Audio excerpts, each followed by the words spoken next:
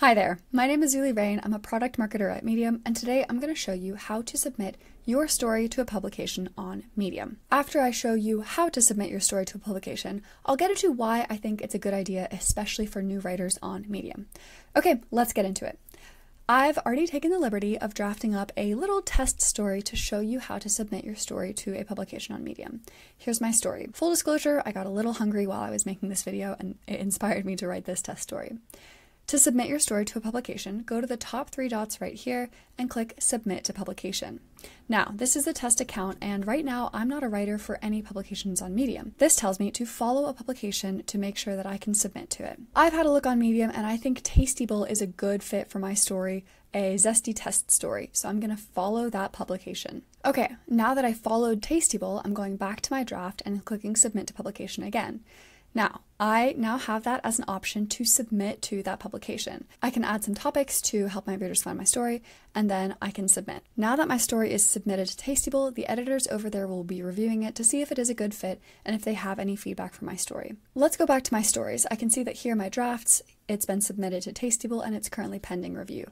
I can see all of my submissions here in the submissions folder. When an editor has a chance to review it, they will switch that tag over to in review or edits requested or approved or declined, and I'll be able to see when they took that action as well. It's important to note that not all publications are open to new writers that way. Some of them will prefer that you leave a comment, that you send an email, that you fill out a form, so definitely be sure to carefully read the submission guidelines of every publication you're interested in writing for to find out how they want to review your submission.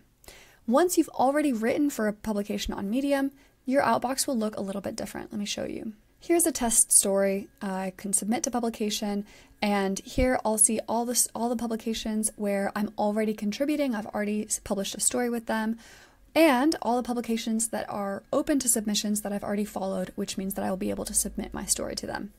Okay that's the how to submit a story to a publication. Now let's get into the why and why it's a good idea to do so. Why submit to a publication on Medium? There are three very good reasons First of all, it means you get to work with an editor. An editor is going to work like another set of eyeballs on your story.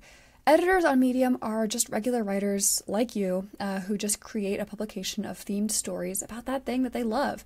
Uh, it can be about life lessons, inspiration, it can be about writing, it can be about nursing. There are lots of different options for publications.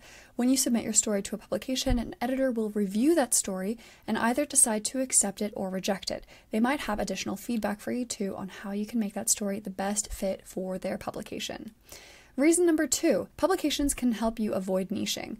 Let's say that as a writer, you want to write about inspiration and you want to write about nursing. By using publications, you make sure that your story is reaching that target audience. So even if you've never written about nursing before and all of your followers came to you because they love what you have to say about writing, you can publish in a publication about nursing and make sure that your stories are still going to reach an interested audience.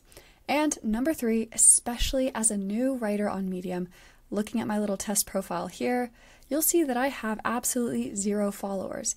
However, a publication like Namaste Now has over 1,700 followers. When I submit to that publication on Medium, my story has a chance to be shown to all of those followers, even if they don't follow me, even if they've never heard of me in their lives, because I'm piggybacking off of the audience that the publication has already built. Okay, that's how and why you should submit to publications on Medium. Hope you enjoyed this video. Let me know if you have any questions in the comments below, and I'll see you in the next one. Bye.